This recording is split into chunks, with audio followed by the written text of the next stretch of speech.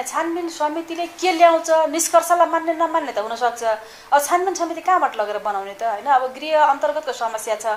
गृह अन्तर्गतको समस्या भइसकेपछि शान्ति सुरक्षाको विषयमा समस्या उठेपछि त गृह मन्त्रालय अन्तर्गतै बन्छ त छानबिन समिति।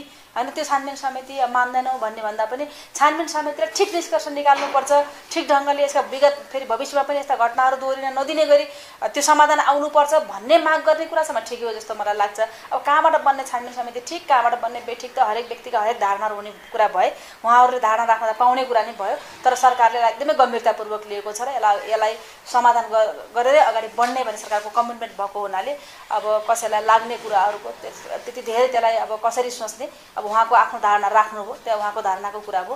तर अहिले सरकार गम्भीरतापूर्वकै लिएको छ घटनालाई। त्यही ल्याप्सेसहरू भए कमी भयो भनेरै छानबिन समिति बनाएको हो र हिजै नै अब सम्बन्धित मन्त्रालयहरूले यो डिएसपीलाई निलम्बन गर्ने होइन गोली चलाउन आदेश दिनेलाई पनि निलम्बन गर्ने र एउटा मन्त्रीज्यूको सुरक्षामा खटेको पिएसओ जसले जुन भूमिका निर्वाह गर्नु पर्थ्यो त्यो भूमिकामा कमी आएको भनेर पिएसओ पनि निलम्बित भएका छन्। त्यसै गरेर अब उपसचिव पनि निलम्बित भएका छन्। श्रम मन्त्रालयले उपसचिवलाई पनि निलम्बित गर्ने भन्ने निर्णय भएको छ। र त्यो त्यस अनुसार गर्दाखेरिमा केही ल्याप्सेसहरू भए भन्ने पनि देखिन्छ। अब मन्त्रीज्यूकै गाडी भनेर अब त्यो घटना हिजोको घटनामा चाहिँ अब यो मन्त्रीज्यूको गाडी टार्गेट गरेको भन्दा पनि अलिक घटना अलिक बढी स्वतस्फूर्त आकर्षित भएको।